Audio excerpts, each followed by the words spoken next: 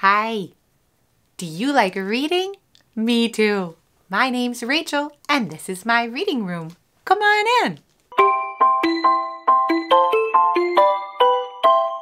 Do you want to know what today's story is? You do? Are you okay? Are you ready? Today's story is Miss Mingo and the hundredth day of school. Soon it'll be the hundredth day of school. This is by Jamie Harper. The day began as usual in Miss Mingo's class, but this was no usual day. We made it! shouted Monkey. One hundred days of school. One hundred is a big number, so we will celebrate big, said Miss Mingo. The class whooped and hollered. Let's begin with a tour of your hundredth day projects, said Miss Mingo. Hippo, why don't you go first, since your mom just arrived, she said. My sister weighs 100 pounds, said Hippo, and she was just born yesterday. Hippo calves can nurse underwater by closing their ears and nostrils. Who knew, said Pig. That baby is as big as me. Congratulations, said Miss Mingo. She called on Octopus next. I picked these shells out of our garden, he said.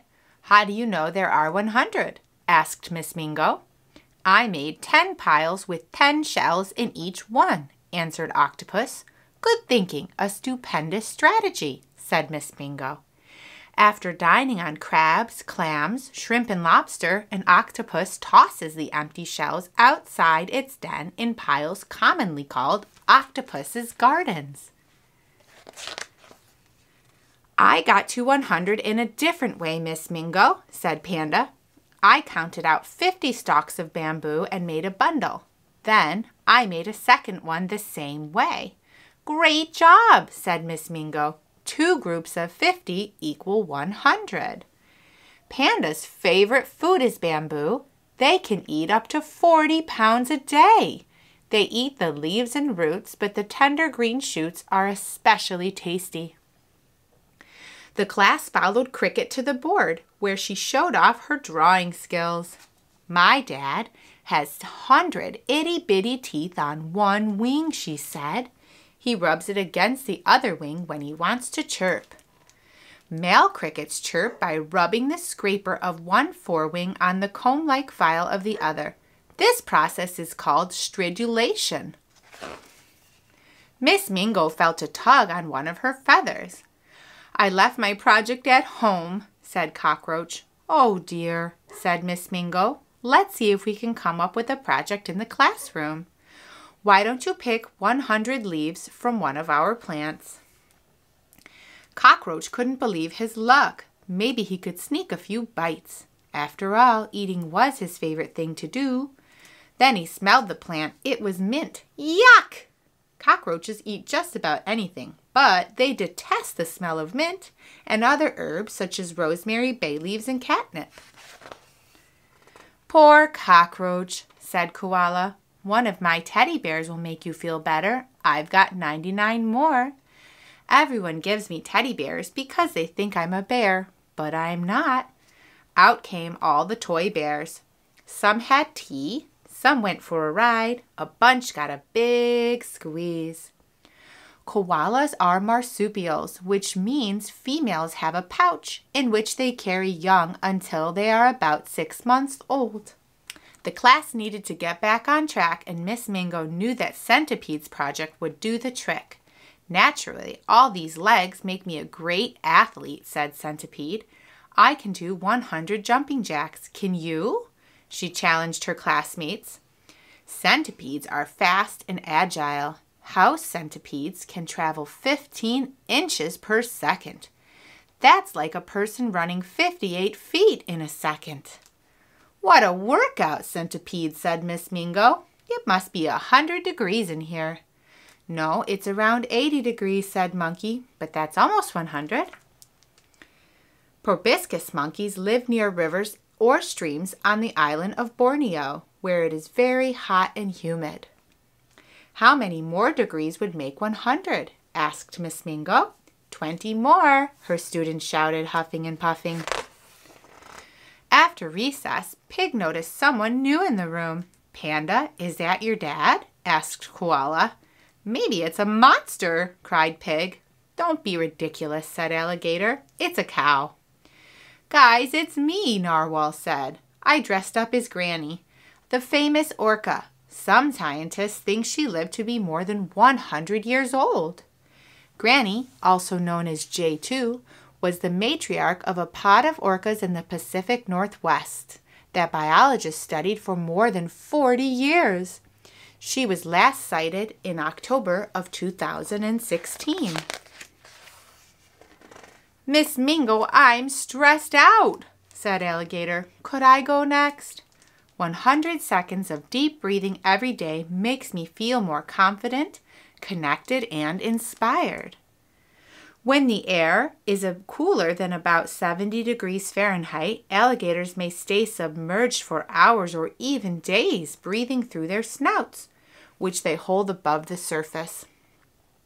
Alligator demonstrated some yoga positions. A few students joined in. The room was still and peaceful. The perfect time, Miss Mingo thought, for the group project to be displayed. Five of us got together and we made 20 footprints each, or belly prints in Snake's case. Only web spinning spiders have an additional third claw on their feet. They use it to grasp strands of silk, allowing them to walk on their own webs. A sidewinder snake moves in a sideways S shape by pushing parts of its body into the ground, which leaves behind a unique J shaped trail. Because of the structure of their feet, elephants actually walk on their tiptoes. Sticky pads on the toes of tree frogs make them excellent climbers. Mucus secreted from the pads removes dirt from their paths for even better traction. Can you figure out which prints belong to me, bird, snake, elephant, and spider? Perching birds can sleep safely on a thin branch or wire thanks to a pulley system of tendons in their legs that lock their toes tightly into place. I'm wearing my project, said Giraffe at lunchtime. I know, said Koala. You have a hundred spots. Well, sort of, said Giraffe. There are a hundred on one side and one hundred on the other. No two giraffes have the same spot patterns. As giraffes get older, their spots grow darker. I can dive into the ocean from 100 feet in the air, said Pelican. See? Mercy, do you wear a helmet when you dive? asked Miss Dillo, the lunch monitor.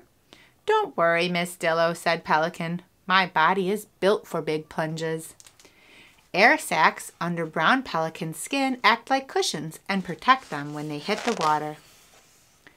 Meanwhile, Ant and 99 of his buddies were making sure no potato chips went to waste.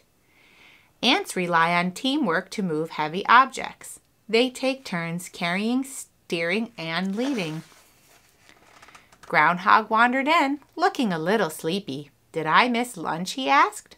Where have you been? asked Alligator. Sleeping, said Groundhog. I just woke up from my hundred day nap. Groundhogs live in underground burrows, complete with sleeping chambers, nursery chambers, and toilet chambers. Come over here, said Miss Dillo. I have a project too. I knitted gifts for my hundred favorite relatives. They're playing outside now. Everyone ran to the window. They all whooped and hollered. Whoa, said Frog. You're a good knitter, Miss Dillo. Nine banded armadillos almost always have four identical same-gender pups in a litter. Before the 100th day celebration was over, Miss Mingo made two requests. Work in teams to build something with a 100 paper cups and make a silly face for 100 seconds. Congratulations, class, said Miss Mingo, on 100 days of success and 100 days of learning, said Panda, plus 100 days of hard work, said Frog. Not to mention 100 days of having the best teacher ever, said Hippo. And the hundredth day of school ended with 100 marching steps out of the classroom while Bird sang a song. Wow! Do you want to make a silly face for 100 seconds? Hmm. Can you count to 100? Well, if you like that story, be sure to like and follow along with Read Along with Rachael, where if you have a book, you have a friend, and I'm your friend too. Bye!